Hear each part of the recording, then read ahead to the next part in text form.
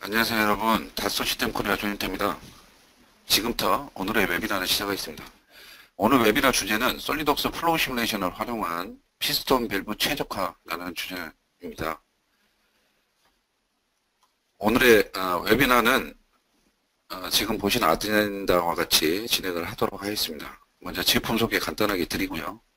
어, 주요 기능에 대해서 몇 가지 주요 기능에 대해서 살펴보고 그리고 제품 데모를 어, 통해서 Flow Simulation에 대해서 설명을 좀 드리고요. 그리고 마지막으로 요약을 하고 정리를 하도록 하겠습니다. 먼저 제품 소개 간단하게 드리겠습니다. SOLIDWORKS는 설계의 모든 단계를 위한 직관적인 솔루션을 제공을 하고 있습니다. 그래서 기구 설계를 위한 SOLIDWORKS, 전기 설계, 전장 설계를 위한 SOLIDWORKS Electrical을 제공을 하고 있고요. 그리고 3D CAD에서 만들어진 설계, 어, 작성된 설계가 제대로 어, 설계가 되었는지 확인하기 위한 어, 솔루션이죠. SOLIDWORKS Simulation이라는 제품을 또 공급을 하고 있습니다. SOLIDWORKS Simulation 제품에 대해서는 다음 슬라이드에서 좀 더 더 자세하게 살펴보도록 하겠습니다. 그리고 technical communication을 위한 도구들도 저희들이 어, 다양하게 제공을 하고 있습니다. 그래서 품질 검사 보고 문서 어, 작성을 자동화할 수 있도록 도와주는 SOLIDWORKS Inspection이라는 제품도 공급을 하고 있고요. 그 다음에 어, technical communication 컨텐츠를 작성할 수 있도록 도와주는 SOLIDWORKS Composer 그리고 SOLIDWORKS 파일 어, 파트 파일이나 assembly 파일 그리고 어, DWG 파일 등과 같은 어, CAD 데이터를 확인할 수 있는 viewer죠. SOLIDWORKS eDrawings라는 제품도 공급을 하고 있습니다. 그 다음에 2D CAD 어, 소프트웨어인 무료 소프트웨어인 웹스 사이트도 애들이 어, 사용자 여러분들께 제공을 하고 있습니다. 그래서 SOLIDWORKS, 그 다음에 시뮬레이션, 커뮤니케이션, 어, 커뮤니케이션을 위한 어, 솔루션에서 만들어진 데이터들을 효율적으로 관리할 수 있도록 도와주는 솔리독스 PDM이라는 제품도 저희들이 공급을 하고 있습니다. 그래서 지금 보시는 것처럼 솔리독스는 설계의 모든 단계를 어, 아우르는 직관적인 솔루션을 제공을 하고 있습니다. SOLIDWORKS Simulation 제품군에 대해서 좀 더 더 세부적으로 한번 살펴보겠습니다. 저희 SOLIDWORKS Simulation 제품군은 크게 네 가지로 구분을 해서 어, 공급을 하고 있는데요. 첫 번째 제품은 구조 해석을 위한 SOLIDWORKS Simulation 제품이 되겠습니다. 이 SOLIDWORKS Simulation 제품은 Premium, Professional, Standard 패키지로 구성이 되어 있는데요. 이 패키지별로 어, 해석을 수행할 수 있는 영역이 조금씩 차이가 있습니다. 두 번째 제품은 열 유동 해석을 수행을 할 수 있는 SOLIDWORKS Flow Simulation이라는 제품이 되겠습니다. 이 SOLIDWORKS Flow Simulation은 두 가지 add-on 어, 모듈을 제공을 하는데요. Electronic Cooling 모듈과 HVAC 모듈 바로 이 두 가지 모듈을 어, add-on 모듈로 공급을 하고 있습니다. 세 번째 어, 모듈은 어, 사, 어, 사, 세 번째 제품은 사출 성형 해석을 위한 SOLIDWORKS Plastics라는 제품이 되겠습니다. 그래서 플라스틱 파트에 대한 사출 성형 해석을 수행을 하실 수 있고요. Premium, Professional, Standard 패키지로 구성이 되어 있습니다.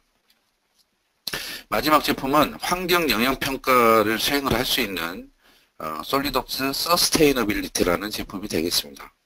그래서 제품이나 혹은 설계가 환경에 어떤 영향을 미치는지 정성적인 어, 측정을 통해서 사용자에게 알려주는 그런 제품이 되겠습니다. 오늘은 어, SOLIDWORKS Flow Simulation이라는 제품에 대해서 어, 자세하게 이제 살펴볼 거고요. SOLIDWORKS Flow Simulation 제품에 대해서 어, 설명을 드리기 전에 동시 병행 엔지니어링의 개념에 대해서 간단하게 살펴보고 진행을 하도록 하겠습니다. 네, 여러분들께서 지금 그림에 보시는 것처럼 일반적으로 제품 개발 프로세스는 수행 프로세스입니다. 제품 개발 엔지니어는 제품의 개념 설계에서부터 제조까지 단계적으로 작업을 수행을 합니다. 네, 제품 설계, 제품 테스트, 시뮬레이션, 설계 검토 등 작업을 하나씩 차례대로 수행을 하게 되는데요. 이러한 경우에 어, 대부분 이전 단계가 완료가 돼야 다음 단계가 진행이 됩니다. 게다가 한 단계가 계획보다 오래 걸리게 되면 전체 주기가 더 길어져서 출시 시간이 어, 연장이 되게 되고요. 이는 기업의 생산성은 물론 어, 적시에 예산 범위에서 어, 제품을 개발해서 공급하는 능력에 치명적인 영향을 미치게 됩니다.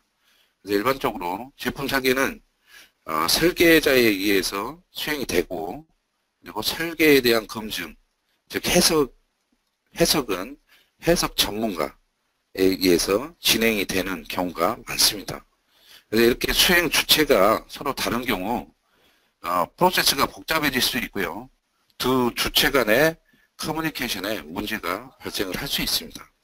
그래서 해석 전문가는 제품 설계가 어, 완료가 될 때까지 또 기다려야 되는 그런 문제점이 있을 수 있겠고요. 반대로 제품 설계자는 해석 전문가에 의해서 설계가 검증이 될 때까지 기다려야 하는 경우가 발생을 하게 됩니다. 여러분도 잘 아시겠지만 제품 원가의 80%가 설계 단계에서 비롯이 된다고 합니다. 그만큼 중요한 어, 중요한 게 바로 이제 설계 단계가 되겠는데요. 그래서 제품 개발 프로세스를 좀 최적화를 어, 할 수 있는 방법을 알아내기 위해서 또 투자를 하고 그리고 어, 제품 개발 프로세스에 해석을 도입을 해서 어, 수행을 할, 해석을 수행을 할 가치가 충분히 있다는 것을 의미합니다. 어, 제품 개발 프로세스에서 순차적인 프로세스 대신에 지금 보시는 것 같이 어, 동시 병행 프로세스를 도입을 할 필요가 있는데요. 이렇게 어, 동시 병행 엔지니어링을 제품 개발 프로세스에 도입을 하게 되면 하게 되면 어, 설계자는 자신의 설계에 대한 검증을 설계와 동시에 수행을 할 수 있고요. 보다 나은 비즈니스 의사결정을 위한 정보를 보다 이른 시점에 획득할 수 있습니다.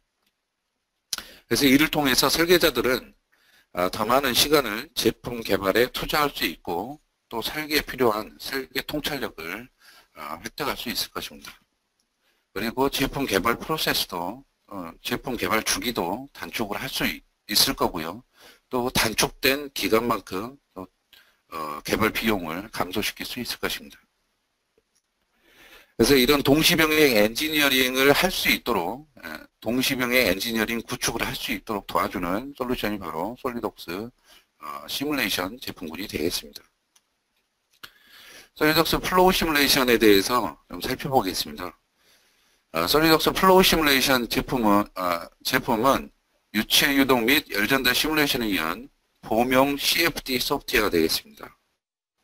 그래서 전산 유체 역학을 위한 소프트웨어고요. 솔리독스와 완벽하게 통합이 되어 있습니다. 어, 그래서 어, 3D 설계 검증을 위한 강력한 도구로 활용을 할 수 있겠고요. 앞에 설명드렸던 것처럼 동시 병행 엔지니어링, 엔지니어링을 어, 제품 개발 프로세스에 구현을 할 수 있는 그런 제품이 되겠습니다. SOLIDWORKS Flow Simulation을 이용을 하게 되면 다양한 형태의 어, 유동 해석을 수행을 할 수 있습니다.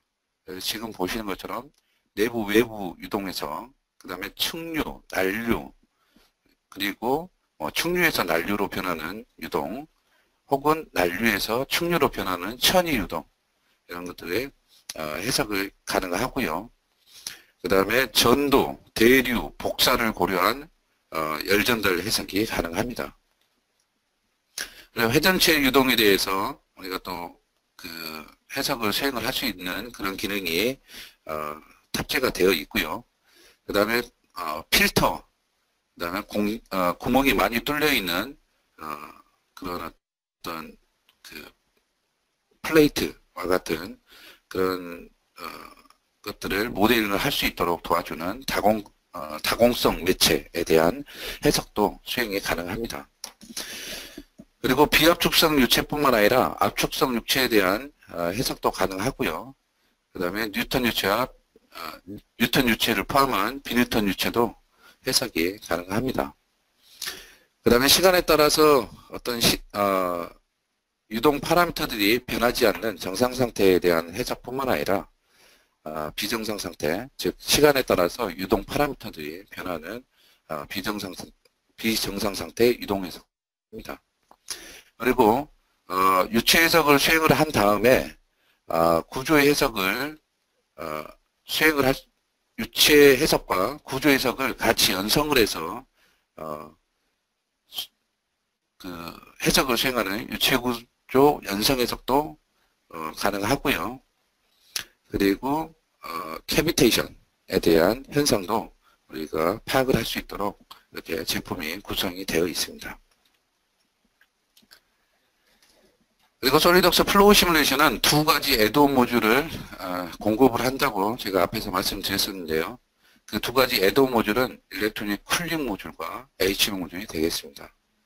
Electronic Cooling 모듈 같은 경우에는 열 관련 문제 최적화를 위한 시뮬레이션을 수행을 할 수 있는 그런 솔루션이 되겠고요. 어, 줄가열이라든지 heat pipe, 이저항 component, 그 다음에 PCB 생성기와 같은 기능이 추가적으로 제공이 되게 됩니다.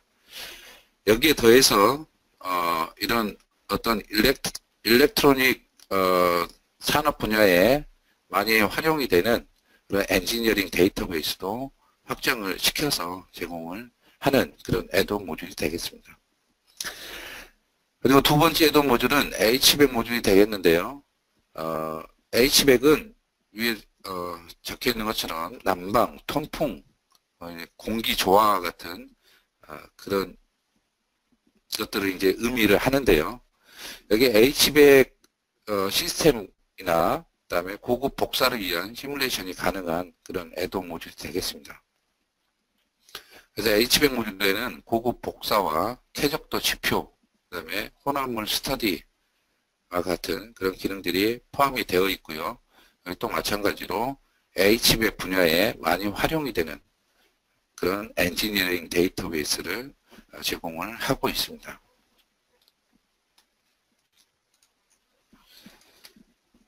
Flow Simulation의 주요 기능에 대해서 살펴보겠습니다. SOLIDWORKS Flow Simulation의 주요 기능 중 첫 번째는 SOLIDWORKS와의 완벽한 통합이 되겠습니다. 지금 그림에서 보시는 것처럼 어, SOLIDWORKS 인터페이스에 완벽하게 통합이 되어 있고요.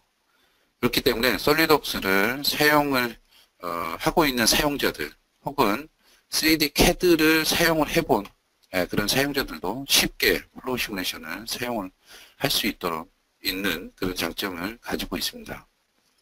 그래서 add-on, add-in을 시켜서 사용을 할 수 있도록 그렇게 구성이 되어 있고요. 예, 그렇기 때문에 우리가 어, SOLIDWORKS에서 3D CAD 모델, geometry가 변경을 변경이 되게 되면 어, SOLIDWORKS Flow Simulation의 해석 모델도 바로 반영이 돼서 즉각적으로 어, 변경이 되게 됩니다. 그래서 지금 그림에 어, 나와 있는 것처럼 어, 50파이짜리 geometry가 35파이로 어, 변경이 된 경우에 유체 영역도 마찬가지로 50파이에서 35파이로 자동으로 업데이트가 되게 됩니다. 그래서 이런 어, 기능이 있기 때문에 유체 영역에 대한 지오메트리를 별도로 작성을 할 필요가 없습니다. 그래서 어, 해석 모델 준비 시간이 획기적으로 감소되는 그런 이점이 어, 있겠습니다. 자, 두 번째 기능은 유체 영역 자동 인식 기능이 되겠는데요. 네, 왼쪽에 보시는 거는 그 고체 영역이 되겠습니다. 그래서 이 고체 영역을 이용을 해서 어, 이 고체 영역 내부에 유체 영역을 어, 작성을 해야 그 어, 작성된 유체 영역을 이용을 해서 어, 우리가 유동 해석을 수행을 할 수가 있습니다. 그런데 이런 어떤 유체 영역을 만들어내는 작업이 굉장히 번거롭고 약간의 어, 그 많은 시간과 노력을 필요로 하는 그런 작업이 되겠습니다. 그런데 Flow Simulation에서는 지금 보시는 것처럼 오른쪽에 보시는 것처럼 어, 유체 영역을 SOLIDWORKS Flow Simulation이 자동으로 인식을 해서 지금 보시는 것처럼 유체 영역을 또 자동으로 만들어줍니다. 그래서 이렇게 만들어진 어, 유체 영역은 별도의 파트 파일이라든지 설정으로 저장을 해서 다른 어떤 그 캐드 작업에 다른 혹은 어 다른 어떤 그 작업에 활용을 할 수 있도록 이렇게 어 geometry를 별도로 만들어줍니다. 그래서 유체 영역에 대한 별도의 geometry를 작성을 할 필요가 전혀 없기 때문에 또 역시 마찬가지로 어, 해석 모델을 준비하는 시간을 어, 상당히 감소시켜주는 아주 유용한 그런 기능이 되겠습니다. 세 번째 기능은 parametric study 기능이 되겠습니다. 그래서 어떤 치수라든지 우리 이제 유동 파라미터 기반으로 어떤 설계 설계를 이제 최적화해주는 예, 그런 어떤 기능이 되겠는데요. 우리가 이제 어떤 제품 개발을 할 때 혹은 설계를 할 때 고민을 이제 많이 하게 됩니다. 어떤 것들이 어떤 설계안이 가장 최적화된 모델인지 이제 고민을 많이 하게 되는데요. 어떤 그런 고민을 어, 좀 쉽게 해결할 수 있는 그런 굉장히 유용한 기능이 되어 있습니다. SOLIDWORKS Flow Simulation은 두 가지 어, parametric study 방식을 제공을 하는데요. 첫 번째는 이제 goal optimization 이라는 방식이 되겠고요. 두 번째는 what-if 시나리오가 되겠습니다. 그래서 goal optimization 같은 경우에는 어떤 goal을 지정을 해놓고 그 goal이 달성될 때까지 어떤 선택한 범위 내에서 파라미터들을 바꿔가면서 어, 최적화된 어, 지정된 goal을 달성하는 그런 어, 모델을 어, 확인할 수 있는 어, 그런 기능이 되겠고요. 화디프 시나리오 같은 경우에는 어떤 특정 그 치수 파라미터나 유동 파라미터를 기반으로 해서 여러 가지 조합을 만든 후에 그 여러 가지 조합에 대해서 각각 어, 해석을 수행을 한 후에 그 결과값을 표시해주는 그런 어, 그런 어, parametric study 방식이 되겠습니다. 그래서 이런 parametric study를 이용을 하게 되면 여러 가지 설계안에 대한 계산을 자동으로 수행하고 어, 최적화된 어, 최적화된 설계안이 어떤 것인지 바로 파악이 가능하겠습니다. 제품 개발을 하는 제품 설계를 하는 엔지니어나 어, 설계자들에게 굉장히 유용한 기능이 되겠습니다. 그 다음에 어, 말씀드릴 어, 기능은 remote solver와 multi-core 지원과 관련된 기능이 되겠습니다. 그래서 이 remote solver 같은 경우에는 다른 시스템에 사용하지 않는 다른 시스템의 resource를 활용을 해서 유동 해석을 수행을 하는 어, 그런 기능이 되겠고요. 그 다음에 multi-core 같은 경우에는 시스템에 장착이 되어 있는 어, 코어를 여러 개를 지원을 하는 그런 기능이 되겠습니다. 그래서 뭐 다른 어, CFD 소프트웨어 같은 경우에는 이 그 multi-core의 수량에 따라서 가격이 어, 책정이 되는 경우도 있는데요. 어, SOLIDWORKS Flow Simulation은 어, 이그 사용할 수 있는 코어의 수에 어, 제한이 전혀 없습니다. 그래서 시스템에 장착이 되어 있는 코어를 코어 전체를 어, 사용을 해서 해석을 수행을 하실 수 있습니다. 그래서 이런 어떤 어, remote solver와 multi-core 어, 기능을 이용을 해서 보다 빠르게 해석을 수행을 하고 그리고 결과를 확인할 수 있는 어, 그런 이점이 있겠습니다. 어, 다음 기능은 유체구조 연성 해석이 되겠습니다.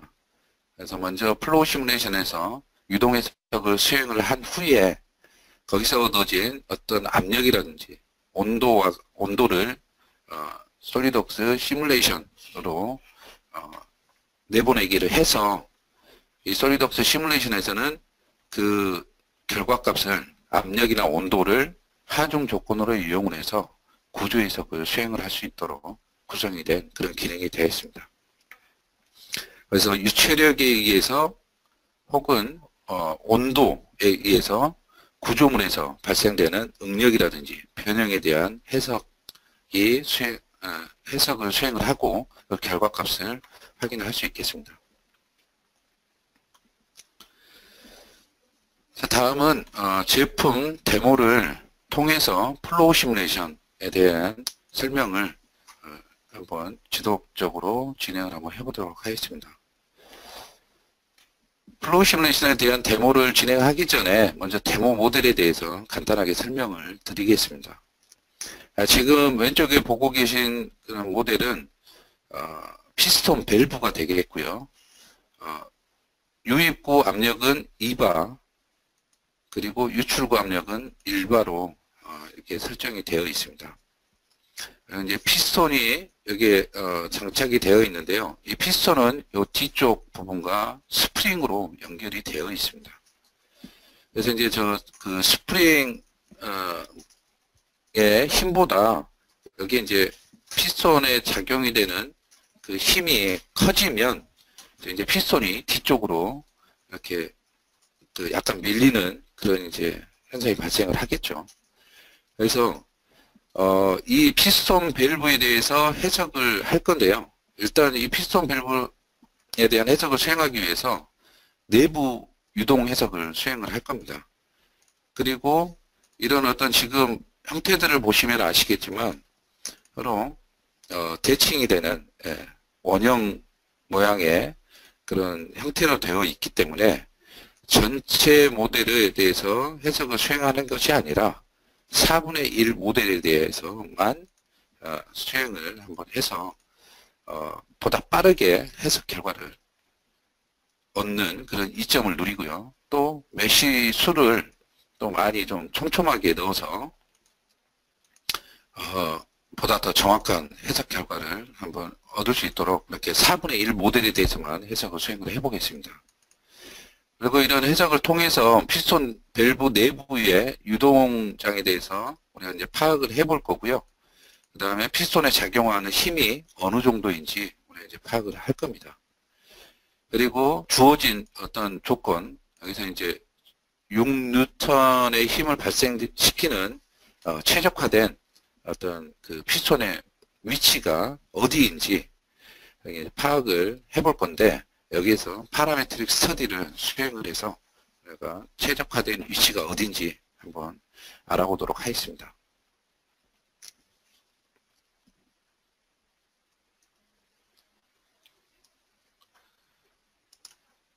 지금 보고 계신 어, 모델이 어, 이번에 이제 데모 모델이 되겠는데요.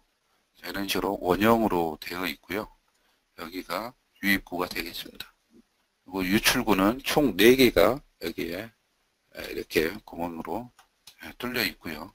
여기를 통해서 이제 어, 유입구로 들어온 유체가 빠져나가게 됩니다. 그래서 앞, 앞에서 제가 말씀드렸다시피 여기 어, 유입구 쪽은 2바 그 다음에 유출구 쪽은 1바로 어, 세팅을 해서 진행을 할 거고요.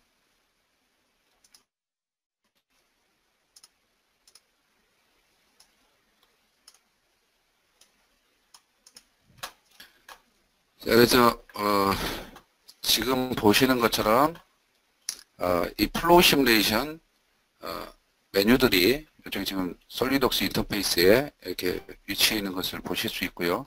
그 다음에 왼쪽에는 Flow Simulation 관련된 어, 해석 트리가 이렇게 표시가 되어 있는 것을 확인하실 수 있습니다.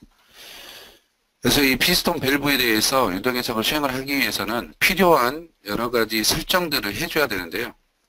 여기에 Flow Simulation은 wizard를 제공을 하고 있습니다.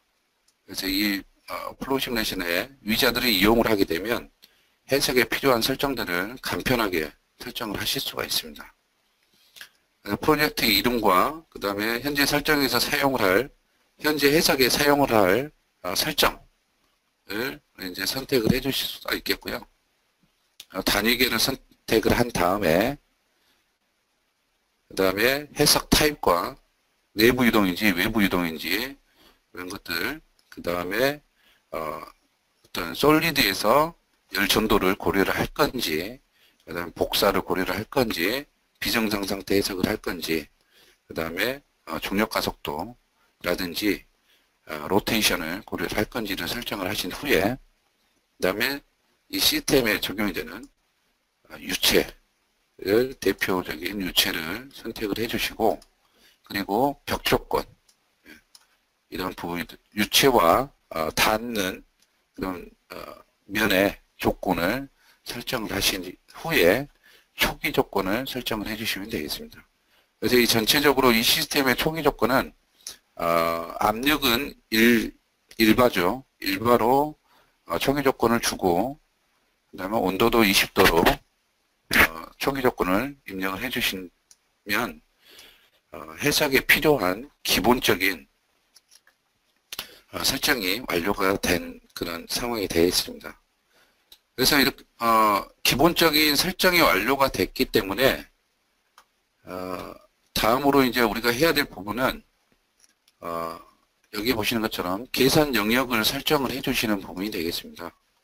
그래서 여기서 이제 계산 영역은 아까 우리가 어, 전체 모델에 대해서 수행을 하는 게 아니라 우리가 그 일부분에 대해서만 4분의 1 모델만 수행을 한다고 했죠.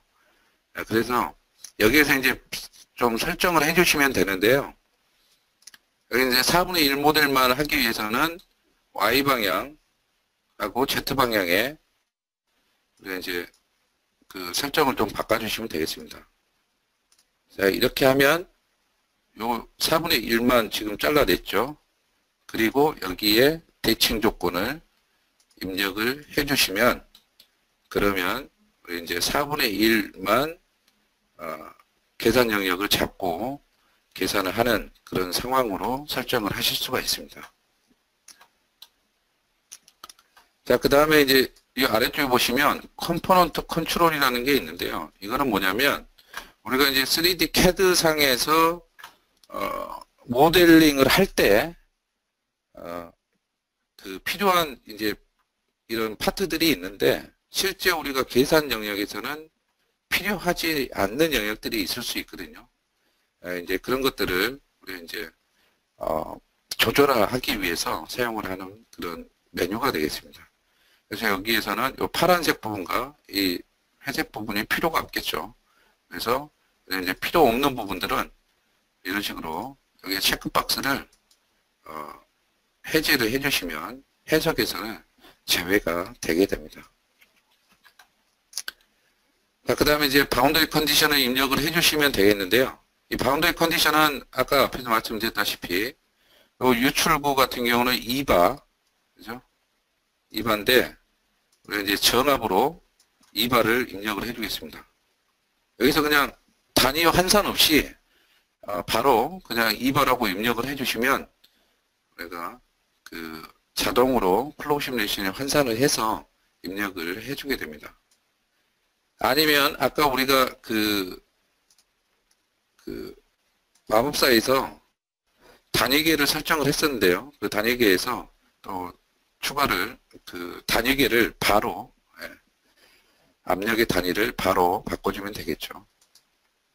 그래서 여기는 어, 유입구 쪽 압력을 어, 경계 조건을 입력을 했는데요. 이렇게 어, boundary condition의 입력 이름을 한번 바꿔보겠습니다.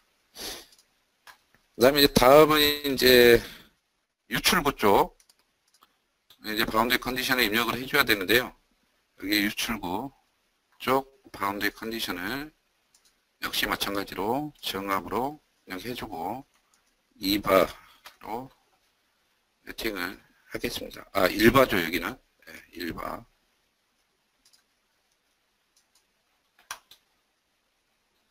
자 그러면 어, boundary con, condition도 경계 조건도 이제 입력을 했고요.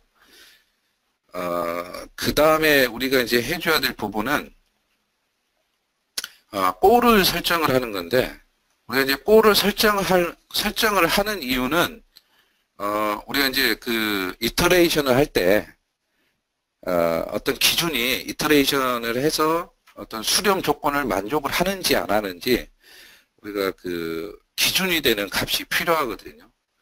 그래서 이제 그런 기준이 되는 값을 설정을 해주기 위해서 골을 설정을 하는 거고요. 그리고 어, 다른 목적 하나는 골을 설정을 해두면 나중에 우리가 그 골에 대한 결과값을 수치적으로 결과값을 어, 수치적으로 우리가 확인을 할 수가 있습니다. 그래서 우리가 이런 두 가지 이유 때문에 이제 골을 설정을 하는 거고요. 여기에서 우리가 골을 설정할 부분은 어, 이 전체 시스템에 대한 전체 계산 영역에 대한 어, static 어, static pressure를 우리가 어, 그 goal로 설정을 해줄 거고요. 그 다음에 이제 여기 오른쪽에 보시면 어, 캄, 이, 그 수렴 조건으로 사용을 할 거냐라는 옵션이 있는데 여기에도 마찬가지로 선택을 해서 수렴 조건, 예, 수렴이 되는 어, 기준으로 우리가 활용을 한번 해보겠습니다. 자, 그 다음에 우리가 이제 관심 있는 거는 여기에 그, 이 피스톤에 작용이 되는 유체력이 어느 정도인지 그거를 알아보는 거거든요. 네, 그래서 어, 여기 이 피스톤, 이 유체와 닿는 면에 어, 피스톤에 피스톤 이 외부 면 중에 유체와 닿는 면을 어, 설정을 해보겠습니다.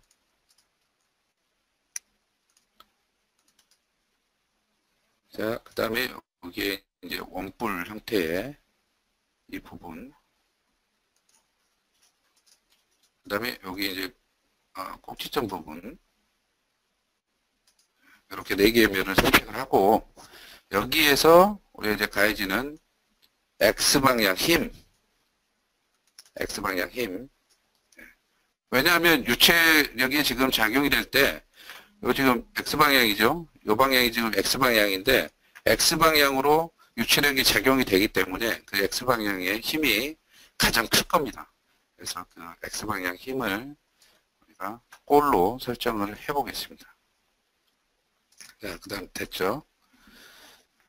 자, 그래서 이 X방향의 힘이 수렴이 되는지 이제 확인을 해서 수렴이 되면 이제 계산이 종료돼도 그렇게 이제 설정을 했고요.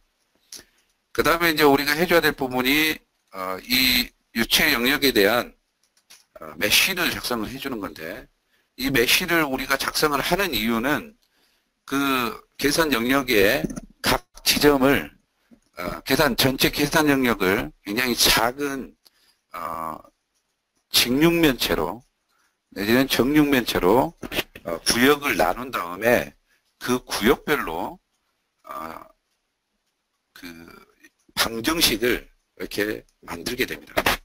그러면 그 방정식을 만들 때 기준이 되는 것이 바로 이 mesh 어, 엘레멘트라는 건데 어, 그런 이제 연립 방정식 방정식을 만들어주기 위한 기준 구역 예, 그런 것들을 이제 만들어주기 위해서 메쉬를 작성을 하는 거고요. 그렇기 때문에 이 메쉬가 촘촘하면 촘촘할수록 어, 계산의 정확도가 향상이 되게 됩니다. 근데 무작정 이게 메쉬가 어, 촘촘하면 무작정 계산 정확도가 증가하느냐 그거는 아닙니다. 어느 정도 계산의 정확도가 향상이 되면 mesh 수가 증가가 되더라도 계산의 정확 않습니다. 그런 어떤 critical point를 찾아서 해석을 수행을 해주면 어, 효율적으로 계산 결과를 얻을 수가 있겠죠.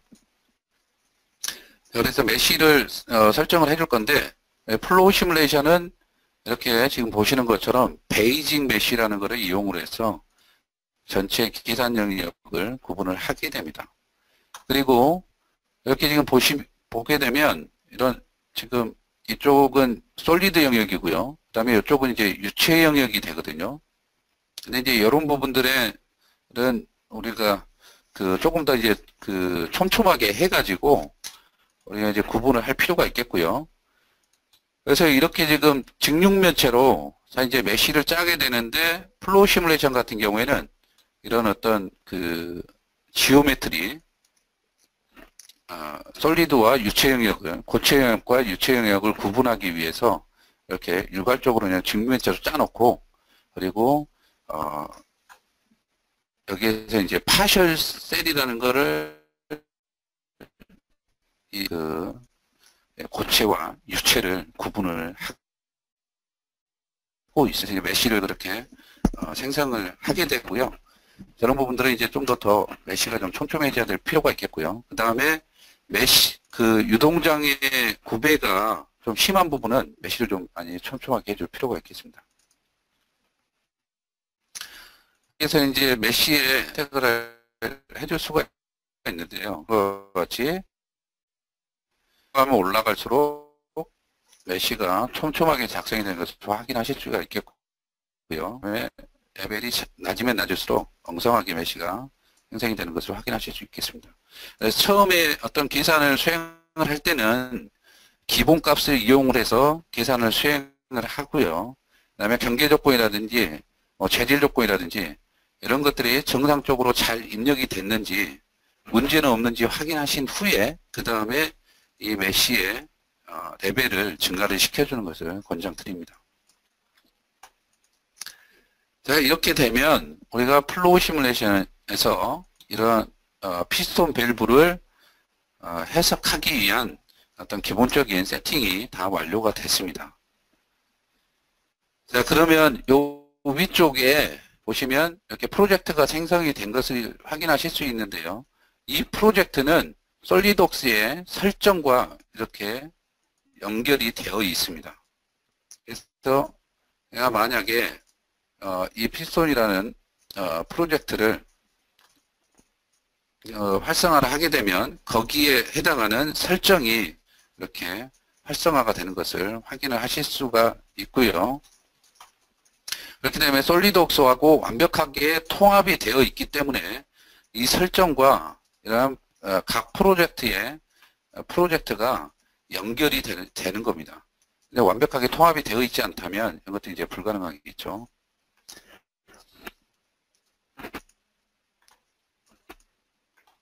자 그리고 계산을 수행을 이제 하게 되면 어, 우리가 이제 유동 해석을 유, 어, 수행을 하실 수가 있는데요. 여기에서 말씀드렸다시피 아까 예, 여기 그 사용하지 않는 어, 네트워크 상의 어, 시스템을 활용을 해서 계산을 수행을 하실 수 있고요. 그 다음에 멀티코어도 시스템에 장착된 수량만큼 또 선택을 해서 사용을 하실 수 있겠습니다. 자, 계산을 수행을 하게 되면 아, 지금 보시는 것처럼 우리가 이제 결과들을 확인을 하실 수가 있겠고요. 자, 이렇게 지오메트리와 같이 확인이 가능하시고요. 아니면 어, 계산 영역에 대한 부분만 어, 또 확인을 하실 수가 있겠습니다. 보시면 어, 속도장에 대해서 확인이 가능하고요. 그 다음에 어, 이런 벡터를 표시를 해서 또 그 벡터의 크기를 또 바로 비교를 해 보실 수 있겠고요. 그 다음에 이제 streamline을 표시를 해가지고 유체들이 어느 어떤 식으로 이동을 하는지 그 다음에 유체의 궤적을 확인하기 위해서 이제 또 이런 flow trajectory를 실행을 해 보실 수가 있는데요. 식으로 유동장의 어떤 변화 형태를 이제 애니메이션으로 확인을 하실 수가 있겠습니다.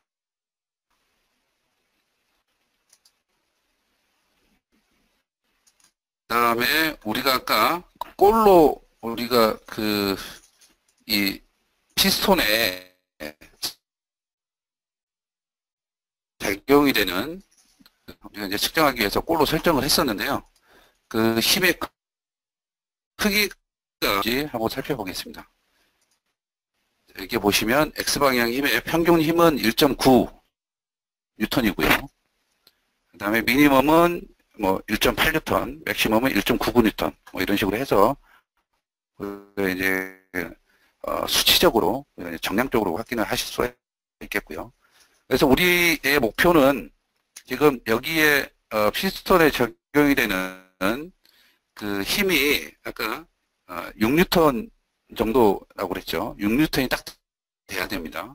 근데 이제 우리가 4분의 1만 모델링을 했기 때문에 다 이제 대칭이라고 보면 여기 1.5뉴턴 정도만 우리가 이제 적용이 되게 되면 되거든요. 근데 지금은 2뉴턴 정도니까 이게 약간 좀 그 전체적으로 이 피스톤의 위치가 좀 수정이 돼야 될 것 같습니다. 그래서 우리가 이런 어, 어떤 위치, 피스톤의 위치가 2뉴턴 정도의 힘을 받는 즉 어, 전체적으로 어, 1.5뉴턴이죠. 아, 6뉴턴이 되려면 4분의 1이니까 그래서 이제 전체적으로 6뉴턴 정도의 힘을 받는 어, 피스톤의 위치가 어디인지 이제 확인하기 위해서 parametric study를 한번 수행을 한번 해보도록 하겠습니다. 네, 여기에서 이제 parametric study를 수행을 할 건데요. 여기에서 어, 우리가 어, 사용할 방식은 goal optimization 방식과 what if 방식 이 두 가지를 다 어, 모두 이용을 해서 한번 설정을 한번 해보도록 하겠습니다. 먼저 우리가 여기에서 어, 사용할 어, 파라미터를 어떤 것을 사용을 할 건지 결정을 해야 됩니다. 그래서 여기에서 즉, 어, 요 면에서 이 피스톤의 요 면까지의 거리, 요 면까지의 어, 거리를 우리가 이제 그 최적화를 좀 해볼 필요가 있겠는데요. 그래서 어, 이 파라미터는 치수 파라미터는 어, 여기에서 여기까지의 거리를 어, 치수 파라미터로 설정을 해서 어, 진행을 할 건데요. 여기서 이제 값은 3mm에서 6mm 범위 내에 있어야 됩니다. 최초의 초기 값은 6mm인데요.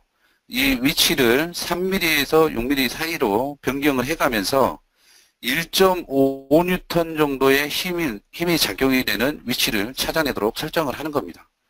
그렇게 하기 위해서 target은 요 면, 예, 아까 우리가 goal로 설정했던 요 네 개의 면에 작용이 되는 어, X방향 힘이 될 거고요. target value는 1.5N이 되겠습니다. 4분의 1만 어, 해석을 할 거기 때문에 좌우 대칭이라고 보면 어, 곱하기 4에서 6N이 되겠죠. 그래서 1.5N으로 어, target value를 설정을 한 다음에 그 다음에 어, 아웃풋 아웃풋은 여기 요 네 면에 적용이 되는 X방향 힘 이렇게 해서 설정을 한 후에 여기에 표시되어 있는 run 버튼을 클릭을 하게 되면 SOLIDWORKS Flow Simulation이 자동으로 계산을 수행을 하게 됩니다. 그래서 첫 번째 디자인 포인트는 6mm 아, 여기에서부터 여기까지 거리가 6mm인 경우에 대해서 계산을 할 거고요. 어, 이 계산 시간이 굉장히 짧으니까 한번 계산을 직접 한번 보겠습니다. 그리고 이제 두 번째는 0.003mm, 아, 3m, 즉 3m, 아, 3mm가 되겠죠. 자, 지금 보신 것처럼 SOLIDWORKS Flow Simulation이 이 피스톤의 위치를 자동으로 업데이트를 해서 해석을 수행을 합니다. 이런 어떤 그 parametric study 기능이 없었다 그러면 어떻게 해야 될까요? 이거를 이런 설정으로 다시 프로젝트를 하나 또 만들어야 되겠죠. 그러려면 3D CAD에서 피스톤의 위치를 변경을 하고 그리고 나서 어, 계산을 또 수행을 하고 경계 조건 입력하고 뭐 또 여러 가지 설정들을 또 해야 되겠죠. 그래서 지금 세 번 정도 어, 이터레이션을 했는데요. 어, 솔루션이 컨버지가 됐다고 즉 어, 만족시키는 결과값을 얻었다고 이렇게 표시를 해줄 하고 있습니다. 그래서 지금 보시면 어, 이 세 번째 어, 디자인 포인트 3가 우리가 설정한 조건을 만족시키는 그런 설계 시나리오가 되겠습니다. 그래서 보시면 거리는 약 4.9mm, 4.9mm 정도 되고요. 그 다음에 X방향 힘은 1.46N 정도 됩니다. 근데 우리가 이제 target value 1.5N이었죠. 그래서 이제 차이가 뭐 0.03 정도 나는데 어쨌든 우리가 이제 정해진 그 오차 범위 내에 들어와 있기 때문에 이게 최적화된 결과값이다라고 Flow Simulation이 어, 계산을 종료를 하고 사용자에게 알려주는 겁니다. SOLIDWORKS Flow Simulation의 또 어, 강력한 기능 중에 하나는 여기에서 이 최적화된 어, 결과값을 얻었는데요. 그 얻어진 결과대로 우리가 프로젝트를 만들 수 있다는 겁니다. 그래서 작성을 하게 되면 지금 보시는 것처럼 이, 이 디자인 포인트 3에 해당하는 어, 치수대로 어, 프로젝트를 만들어서 자동으로 만들어서 또 추가적인 어떤 계산을 수행을 할 수 있도록 어, 그렇게 어, 구성이 되어 있습니다. 자, 그 다음에 우리가 이제 살펴볼 부분은 이제 그 goal optimization 그 parametric study에서 살펴봤으니까 what if 어, 방식에 대해서 한번 살펴보겠습니다. 자, 여기에서는 화대프 어, 방식에서는 파라미터를 치수 파라미터하고 그 다음에 어, 이그 시뮬레이션 파라미터 두 개를 사용을 하는데요. 여기서 치수 파라미터는 앞에서 보셨던 것처럼 우리가 이제 그 범위를 설정을 해주는 거고요. 근데 이제 여기에서는 0.0, 어, 3mm, 4mm, 5mm, 6mm 요 네 경우에 대해서 계산을 수행을 하고 그 다음에 유입구 압력을 2바, 1.3바, 1.65바, 2바 이렇게 입력을 해서 어, 계산을 어, 그 parameter study를 한번 수행을 해보겠습니다. 그 다음에 마찬가지로 output parameter는 요 피스톤에 적용이 되는 X방향 힘이 될 거고요. 그렇게 되면 어, 이제 Flow Simulation이 또 자동으로 어, 디자인 시나리오를 또 만들게 됩니다. 3mm일 때 어, 유입구 압력 1.3, 3mm일 때 1.65, 그 다음에 3mm일 때 2바 이런 식으로 어, 디자인 시나리오를 만들고요. 그 다음에 4mm일 때 또 압력 1.3, 1.65, 2바 또 만들고 그 다음에 5mm일 때 1.3, 1.65, 2바 또 만들고 그 다음에 6mm일 때 1.3, 1.65, 2바 이런 식으로 해서 총 12개의 디자인 시나리오를 만들고요. 그리고 여기에서 run을 눌러 어, 클릭을 하게 되면 또 Flow Simulation이 자동으로 또 계산을 수행을 하게 됩니다. 그래서 쭉 보니까 이 1.5 우리가 원하는 1.5뉴턴 정도의 힘이 피스톤 밸브에 이 어, 피스톤에 적용이 되는 경우는 바로 이 아홉 번째 어, 디자인 시나리오가 되겠습니다. 그래서 5mm일 때, 이 여기에서부터 여기까지의 거리일 때, 그리고 압력은 2바로 입력을 할 때, 어, 여기에 작용이 되는 어, 힘이 1.519 뉴턴 정도 되더라라고 이렇게 표시를 해주게 됩니다. 그러면 아 우리는 어, 결과를 보고 이, 이, 아 어, 거리는 5mm 정도 돼야 되고 그 다음에 압력은 유입구 압력은 2바 정도 돼야 된다 라는 정보를 획득을 할 수가 있게, 되, 있게 되겠죠. 그러면 이 정보를 우리는 어, 디자인에 설계에 반영을 해서 또 설계를 진행을 하시면 되겠죠. 이것도 마찬가지로 우리가 어, 이 디자인 시나리오에 대한 프로젝트를 바로 작성을 하실 수가 있고요. 그 다음에 해석 결과도 바로 어, 여기에서 이제 실행을 해서 지금 이제 실행을 안 해서 결과가 없는데요. 어? 실행을 이제 이 파라미틱 스터디를 쭉 실행을 하게 되면 결과도 바로 자동으로 이제 로드가 되게 됩니다. 계산이 안 됐으니까 계산을 한번 수행을 해서 결과값을 한번 보도록 하겠습니다. 그러면 계산이 이제 완료가 됐는데요. 여기서 바로 어떤 이제 결과값들을 어, 별도로 이제 또 확인을 하실 수 있겠습니다.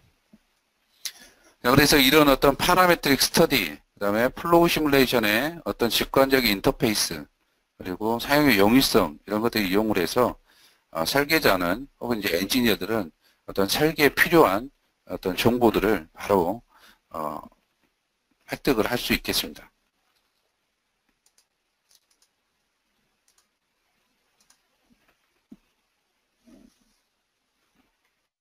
어, 지금까지 어, SOLIDWORKS Flow Simulation을 이용을 해서 피스톤 밸브의 어, 피스톤 위치를 최적화하는 그런 이제 방, 방식, 절차에 대해서 한번 살펴봤는데요. 어, 결과는 이렇습니다. 앞에서 말씀드렸다시피 goal optimization 그 방식을 이용을 했을 때는 보시는 것처럼 최적의 위치가 0.0049m 정도 됐고요. 그 다음에 what-if 시나리오 방식을 이용을 했을 때는 최적의 위치가 0.05m 이렇게 나왔습니다. 그래서 goal optimization으로 하든 그 다음에 아니면 what-if 방식으로 하든 어, 결과값은 거의 비슷하게 나왔고요. 그래서 어, 사용자는 이제 원하는 대로 원하는 방식을 선택을 해서 어, parametric study를 수행을 하고 거기에서 나온 결과를 이용을 해서 어떤 설계에 대한 직관력을 획득을 하실 수 있겠습니다. 자, 요약하고 오늘 웨비나 마무리하도록 하겠습니다. 네, SOLIDWORKS Flow Simulation은 3D CAD와 CFD 통합 환경을 제공을 하고요. 어, 그렇기 때문에 어, SOLIDWORKS 어, CAD와 완벽하게 통합이 되어 있고 또 설계자들도 쉽게 도입이 가능하도록 그렇게 구성이 되어 있, 습니다 그래서 3D CAD에서 모델이 변경이 되게 되면 해석 모델도 바로 어, 변경이 되고 또 그렇기 때문에 어, 파일 변환에 대한 어, 문제, 파일 변환을 하기 위해서 필요한 시간, 예, 낭비 예, 그런 문제들을 바로 해소를 하실 수 있겠습니다.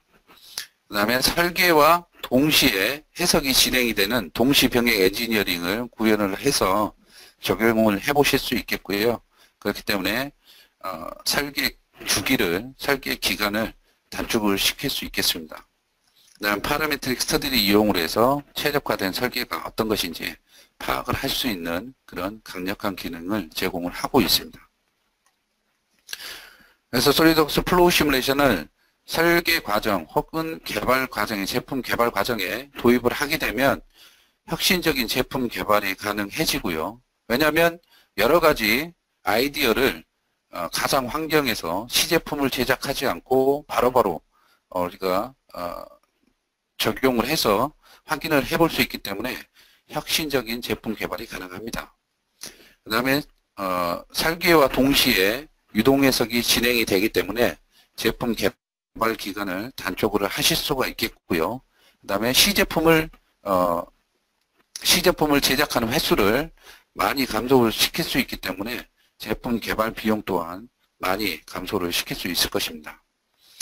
그 다음에 여러 가지 시나리오를 이용을 해서 또 제품에 대한 어, 성능이라든지 이런 것들을 그 검증을 해볼 수 있기 때문에 제품의 품질이라든지 성능이 향상이 될 것입니다. 다음 웨비나 간단하게 안내 드리겠습니다. 다음 웨비나는 어, SOLIDWORKS Simulation 제품에 대한 웨비나를 진행을 할 거고요. 어, SOLIDWORKS Motion을 이용한 구동 메커니즘 검증이라는 주제를 가지고 4월 21일 목요일 오후 1시 30분부터 진행을 하겠습니다. 2016년도 지금 웨비나 줄기차게 지금 하고 있습니다. 네, 지금까지 8번의 웨비나를 진행을 했고요. 지금 보시는 것처럼 매월 최소 2회 이상 진행을 할 예정입니다. 많이 참석을 해주시고요. 5월 달에는 5월 20일 금요일입니다. 어, CA 데이라는 그런 어떤 오프라인 그 세미나를 기획 중에 있습니다. 그래서 아직 어, 기획 단계에 있는데요. 뭔가 이제 좀 정리가 되면 EDM으로 연락을 드리도록 하겠습니다. 그래서 5월 20일 어, 혹시 그 오프라인 세미나에 관심이 있으신 분들 예, 많이 좀 참석을 해주시기 바랍니다. 어, 제 연락처입니다. 네, 이메일 주소와 전화번호 있으니까요. 많은 어, 궁금하신 사항이 있으시면 바로 연락 주시기 바랍니다. 자 오늘 웨비나는 여기서 마무리하도록 하겠습니다. 지금까지 다솔시스템 코리아 조인태였습니다. 감사합니다.